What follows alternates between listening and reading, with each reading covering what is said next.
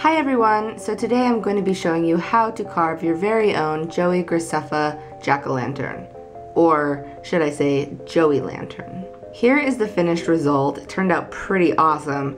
This project took about two and a half hours from start to finish, so let's get to it. Okay, first things first, supplies. Get a pen and a paper. Here is what you're going to need.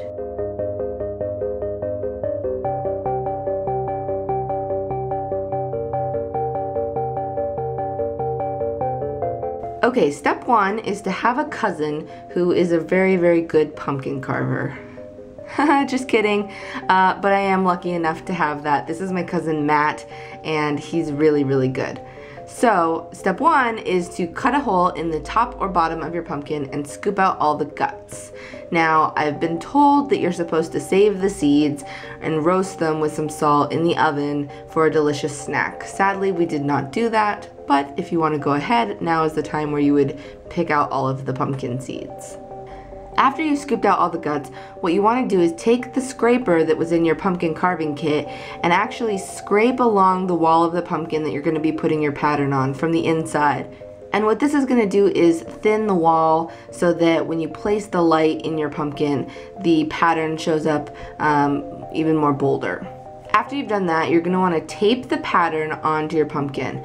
After your pattern is taped onto your pumpkin, you're going to want to take either a push pin, or we use the safety pin, but a push pin would even work better, and poke holes along the shape of your pattern. And you're basically transferring your pattern onto your pumpkin so that when you peel the pattern off, you'll be able to see where you need to carve. Okay, so now for the carving. Now, this is the part that I'm the least clear on.